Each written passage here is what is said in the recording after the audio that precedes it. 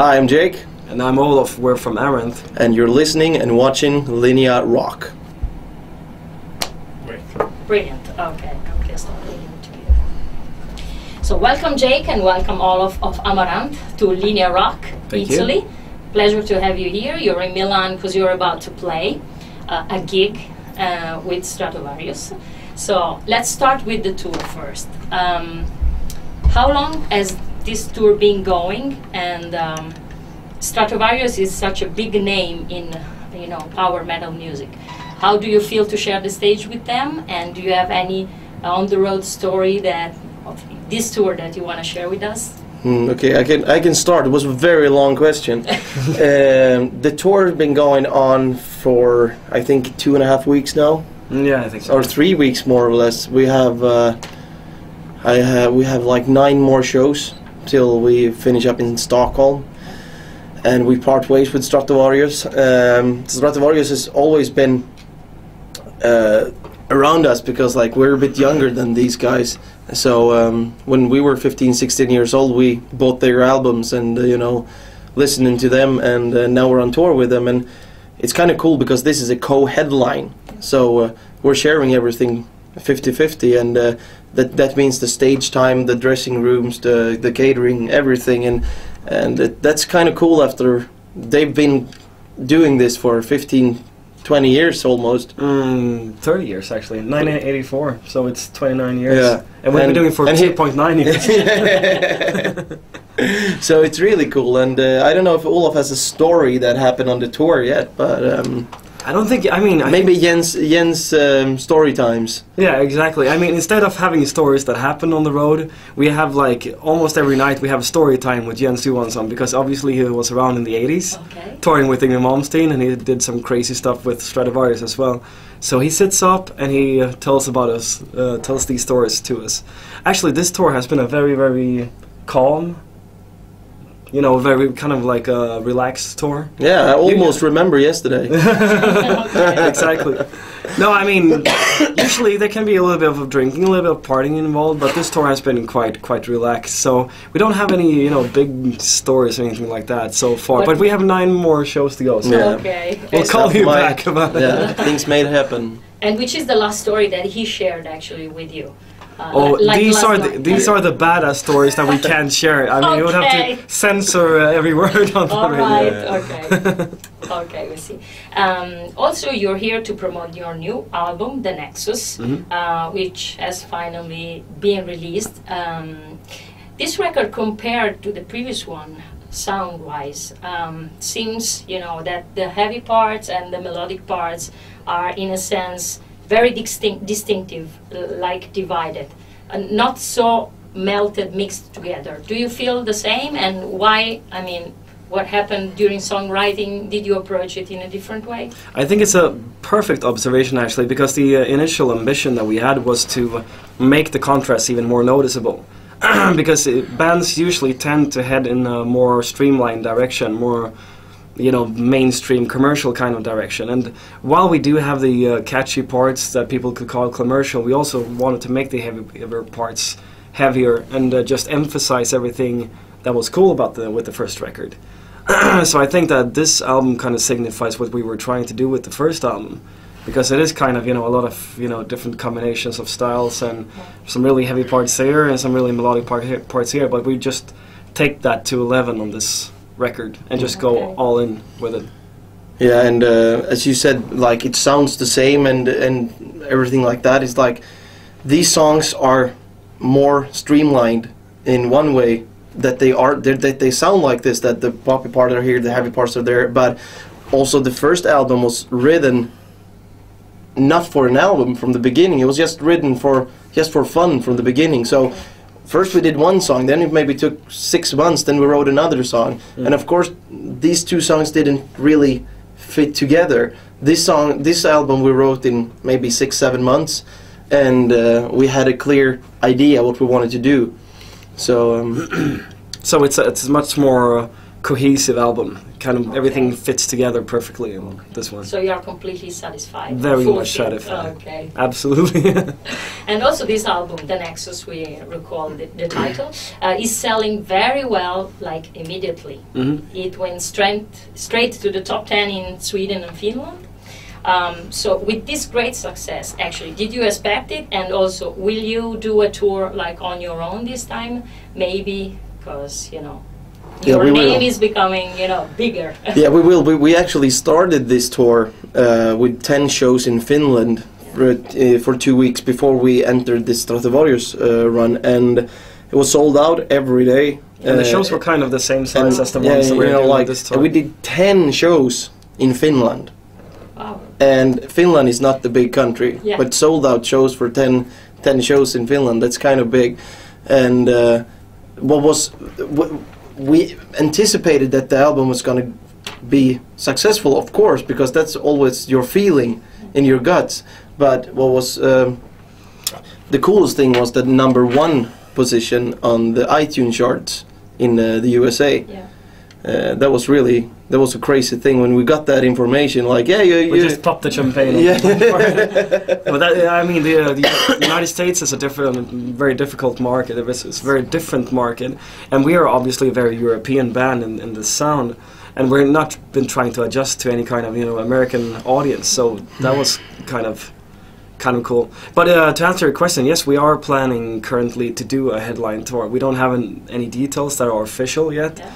But towards the end of the year, we will Yeah. definitely do something on our own. Since this is a co-headline tour, you can kind of very clearly see from from city to city. Uh, how the audience differs because in some cities you can see that okay there's a truckload of Amaranthe fans here so we kind of discovered Yeah. you know which places are good to play and uh, when we played in Strasbourg in France it was let's not play here because this is obviously only Stratovarius fans Yeah, we had So two shows. We had two shows on the on the tour that, and th- this back to the question before that. Uh, we share everything, and we also share the fans. You can clearly see that half of the audience came there for us, and half of the audience came there for Stratovarius. it is kind of equal Uh, so, but we had two shows, and it was like some some part in South Germany and and in Strasbourg, where you could actually see that okay, not that many came for us today. They, they, they, these are there. Stratovarius fans. But then you come to Milan, Yeah. and uh, all the, the you know like the, there maybe was hundred people. s- Uh, Outside, yeah, yeah. outside already, Yeah. and everyone wanted to take photos and uh, autographs and stuff like that. And then you clearly see that these guys are waiting in line for us as well, and that's that's and really that's cool. a good feeling. Of course, and then we know that we're gonna come back to Milan by ourselves as well. Yeah. yes and uh, I also got um, Amarone della Valpolicella from a, Okay. a fan so Great. thumbs up thanks Salute. And I got some homemade wine from a fan. That's also cool. Okay, so first single is the title track, The Nexus. Mm-hmm. Um, you also filmed a very cinematic video uh, for it, uh, again with Patrick Ullaeus. Hope I Ullaeus. Okay, okay. Uh, where the idea comes from, and uh, where did you film it, and will there be like a sequel, maybe with the second single? Because you know it's very interesting the video. Mm, yeah, there might be a sequel in the third video, Okay. but not in the not in the second one. The second video is a, is another kind of song. All right. Uh, but um, The the, i- idea the yeah. idea has been a brainchild of me and Olof from the beginning when we sat down and wrote the lyrics for this album. The lyrics is uh, a natural progression from the first album, and um, uh, it's a bit more futuristic. And then uh, me and Patrick sat down and tried to figure out like where we should record it, and you know, try to find some good locations and good actors and stuff like that. And the the actual location is secret. It's like some old military base in Okay. Sweden uh, that we were not supposed to be in, but we got the connection, so we were allowed to be there. But um, Well, actually, now everybody knows you've been there. yeah, yeah, yeah, yeah, but we don't know we, we don't know where it is. Uh, Exactly. exactly you don't It's know the somewhere in entrance it. Sweden, in somewhere in Yeah. Sweden, like an old nuclear site or something like Yeah. that. But we have uh, filmed a second video quite recently before we went on this tour. Um, and it's, um, I think we can reveal which is going to be the next single because it's already out everywhere. Yeah, do we it's with- Burn With Me. okay. Yeah. Playing with me, it's the the kind of the ballad, the sixth song on the album. And uh, on this video, I think that Patrick wanted to have a little bit more creative uh, freedom from, Yeah. from his part because uh, me and Jake, uh, and especially Jake, have been kind of controlling when it came to the whole video concept that it was supposed to be within these specific boundaries. And now he had this idea, this vision that he realized himself, and uh, we just saw it ourselves uh, for the first time yesterday, Yeah. and it's absolutely brilliant. And it's uh, it's in a very different context. But it's, at the same time, it's very cinematic, so it should appeal to people who like the first video as well. Yeah, we, re- we really want to do videos where we're not just standing there uh, playing. We also want to act. We, we we want the you know like we want them to we want our videos to be more or less like th- a three minute Hollywood movie. Okay. Uh, and uh, you know you want to show another part of your uh, Arctic Yeah. Arctic genre in yourself. And you like yourself when you see the videos then? Yes, he I does. No, no, no. not that you- No, no, no, no. I, I, I, I more or less use it f to get better. I think, Okay. like when you do it once, and uh, you know, like doing a music video is nothing. I've been like uh, doing really, really shitty. Uh, you know, like acting things, like being an extra in in in uh, TV series and stuff like that. And when they do something, they stand, they take a scene for one day and they take it over and over again. And someone says like, "Think about this. uh, Look at that direction." when we record our videos, you know, like we take two takes and you know, like, okay, that's good. So It's very, very dynamic. Yeah. Patrick makes sure that, that he gets good camera angles every time, and also something you learned with every video that recorded that you always have to give something good to the director and to the producer. Otherwise, there's going to be shit coming Yeah. out of the video at the end of the day. Jacob Hansen is on produ- production once again. Um, he is a very famous producer in Denmark. He won a lot of awards and so on. So why him for you? And um, how did you met with him? And did he collaborate also on songwriting and arrangements during, I mean, the recording process? Did he change anything, or uh, you prefer to stri- stand, you know, strict to your um, inspiration? I can just answer the first thing, and then Olof can take the rest of the story. Okay. Why we choose him again Yeah. was because like we found our sound with him on the first album, and uh, we were actually discussing, you know, like. eh, shall we use someone else? And you know, like we we took these ideas and threw them away pretty fast because we realized that if we're gonna do this second album, we want it to sound like the other one, uh, like the first one, but with the new songs. Yeah. So uh, that was the reason, and he's a fucking genius when it comes to sound. Mm, absolutely. And um, I think we discovered him through. I was uh, in another band called Nightrage until recently, and they did their third album with uh, Jacob Hansen, and I was just uh, there. I was not in the band at the time, just helping them out with production. And I just realized that this guy had a very, very good ear. And that's something that is very, very difficult. The most difficult and taxing part of recording an album is the vocal recording because that needs to come out absolutely perfect otherwise the whole album is going to sound not so good. Yeah. and he has perfect ears. He's uh, when it comes to that he was one of, one of the best in Europe for sure. So and also uh, he's Danish and Morten our drummer is Danish and he has recorded I think maybe 15 albums or something yeah, like that 15 or 20. session uh, drumming in the in that studio. So it was kind of a natural thing to do. And also uh, on the last album, it was we were working with him for two months, so we got to know each other really, really well. So yeah, it was a very natural choice for us, even if we had a few other ideas. Yeah. And we'll see what happens with the third album. You have a woman singer in the band, Lise, and um, we all know that you know metal world is like a male universe. Has always been like that. Also now, in the modern days, it's still the same pretty much. How does it feel for you to have a woman in the band? The do the dynamics changes and do you cuddle her? She's like a queen, or No. she's treated, you know, just just like everybody else. I used to I used to say like this that we're six guys in the band, Okay. and she's one of them, Okay. and uh, that summons it all pretty good, I think. That's that's pretty much it. Because I mean, we're not uh, any kind of traditional female-fronted band either.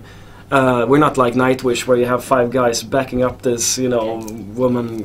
But uh, of course, uh, Elize is, uh, is different in the fact that she is a girl, but she is not necessarily. Of course, she has some very girly sides, like every girl. But she also has some, you know, she can take the guy's humor to a pretty good extent, and uh, um, so I, I think it works out quite nicely in that aspect. Yeah. Okay. Um, you've done two European tour, one with Hammerfall and one with Kamelot. Uh, two very different bands from you know compared to Amaranthe um, in the attitude and in the sound. Which experience was the best for you? I think the Hammerfall tour because like we had much bigger audiences on that tour, and I also think that there, the the audience were more, they were closer to our music than it was with, with Kamelot in some way. But but Kamelot also the Kamelot's fans also attracts our music or what do you say about it? Both was really good. You know, like it's hard to be. In, we've always been in bands for ten years, but smaller bands. And when you first get on your first real tour, you learn a lot of stuff. And we still learn a lot of stuff after 200 shows or whatever we've done Yeah, yeah, with this exactly. band now. So And I think the big difference was that when we did the Kamelot tour, we had just released our album the, like the month before, I think. Yeah, the month before. We were touring in May and we released the first record in April of 2011. So people hadn't really, you know, acknowledged the band fully yet. When we did uh, the tour with Hammerfall, we had a re-release of the CD, which was out in uh, Italy and in Yeah. uh, Germany and a lot of places where the uh, first record wasn't available when we did the Kamelot tour. So I, I think that was a much bigger turnout with our fans, actually. And, and actually, we had a lot more live experience. Today, when you're looking at YouTube clips from what we were doing back in the you know, Kamelot tour days, I think we were a much better live band at that point. So for me, it's definitely, I think the Hammerfall tour was, was way better for me personally. Okay. A question for you, Olof. Um, You are also the leader of Dragonland. Um, do you think that um, now that Amaranthe is becoming bigger, bigger, and bigger, uh, you will give up with the other band, or you you will keep both projects um, at you know same level and same kind of importance? What will you do? I will probably still keep on doing the Dragonland stuff because it's a very different different style of music, obviously, from what we were doing with Amaranthe. And there's a lot of classical arrangements and stuff that that we don't do and we're never gonna do with, Yeah. with with Amaranthe, obviously. So it's good to have that kind of outlet. But something I would probably not do is I would probably not tour with Dragonland. Because we've never been a touring band. I think we've done like 30 shows in 10 years or something like that. Okay. We have d- done more shows the last month than we have done in our entire career. So, yeah, maybe I will never say never. Maybe we'll, we'll play a one off show here and there just for fun. But Amaranthe is by far the main focus. Okay. Elize is considered one of the best singers in metal around the world. What if somebody, you know, will steal her to Amaranthe? What will happen? And actually, is that correct? That Nightwish tried actually to, you know, No, have no. her in the band. What happened? no, the, the Not thing really, was actually. the thing was that um, Annette got sick there in, in the United States, and they asked her and also the other girl, there were two girls, like Yes. to if they could step in for her It was last September, right? Exactly. Yeah. And they didn't want to cancel the show. And we did actually the same thing the other day because Elize was sick. So we brought the, the girl in the um, opening band Seven uh, Kingdoms, yeah. from Seven Kingdoms. And uh, so she joined us for a couple of songs. It's easier for us because we're already th- two more singers. So, so you, I sang all the songs and then we, also Elize part. Yeah. But um, Elize did though send an when they cho- chose Annette, we didn't have um, Amar- uh, Amaranthe at all. We helped her and uh, to uh, you know apply for the band back Yeah. then, but uh, that's the only thing. So But I- they I- didn't try to steal her. No. And and if someone would steal her, um, that would be her mistake then because like it's her band and uh, uh, we're getting bigger. So. Uh, I mean, uh, that's exactly the point. Elize is one of the earliest members of this band, probably the earliest besides me and Jake, and uh, she's also an integral part of the songwriting team, and she- she's created uh, kind of a vital part of the of the whole band. So it's not like she's the singer and we are paying her to stay in the band, and somebody else comes and pays more, and then she will go to that project. It's not like that. She um, she's here to stay for sure. And how do you imagine yourself in 10 years by now? mhm. I big uh, build a big castle in the Piazza del Duomo. Okay. no, I'm, I'm kidding. No, it's it's very hard to uh, project the future because uh, two years ago we couldn't have imagined that we would be even sitting in this uh, Radio Lombardia in uh, in Milano doing interviews with you guys. I mean, it's it's a lot of new stuff happening all the time, and uh, just the response that we had for the Nexus album has been way beyond our expectations. With the number of YouTube plays and with the iTunes metal charts Yeah. and the album charts in, in Finland and Sweden. So. Uh, no idea, no telling what's going to be in 10 years, but hopefully we'll still be doing this because this is what we love doing, basically. And we hope so for you guys. Thank Yeah. you so much for your time and Thank you. enjoy the show tonight. We Enjoy. Milan and hope to have you back to Linea Rock soon. Yeah. We will be back. Thanks so much. Thank you very much. Thank you. Bye. Grazie.